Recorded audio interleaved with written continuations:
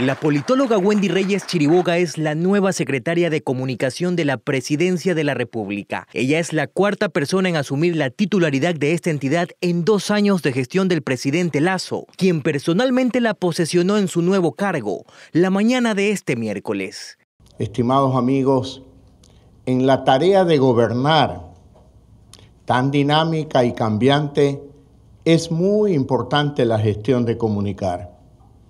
Estoy seguro de que esta Secretaría de Estado será manejada por la Magíster Wendy Reyes con gran profesionalismo y compromiso con el país. Luego de la firma del decreto 710 y de la toma de juramento por parte del primer mandatario, la nueva funcionaria dijo que la decisión de aceptar el cargo fue muy difícil en medio de la crisis que vive el país. Ayer le dije al presidente, ¿a quién se le ocurre asumir este cargo en medio de una crisis? Y bueno, aquí estoy. Y aquí estoy porque creo que nos toca jugarnos como país. Así que gracias, presidente, por esta oportunidad. Además, Reyes destacó el rol de la comunicación como herramienta disuasiva del caos. Hoy asumo el reto de ser parte de un equipo que contribuya al que, a que el caos no prolifere y que podamos salir adelante como sociedad.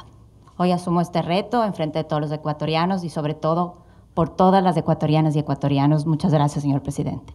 Reyes tiene una dilatada trayectoria profesional y académica. Es máster en gestión política de la George Washington University. Tiene dos posgrados en Derechos Humanos y Democratización, obtenidos en la Universidad Andina Simón Bolívar. Asimismo, su formación combina estudios en abogacía, relaciones internacionales y gerencia política ha estado vinculada al sector privado como asesora y tiene amplia experiencia en investigación en temas de opinión pública y en comunicación política. Además, tiene 13 años de experiencia asesorando organizaciones de la sociedad civil, instituciones privadas y compañías políticas en varios países. Wendy Reyes asume la titularidad de la Secretaría de Comunicación de la Presidencia, luego de que Andrés Seminario renunciara al cargo tras cinco meses en funciones. Para UCSG Noticias, Eder Cheme.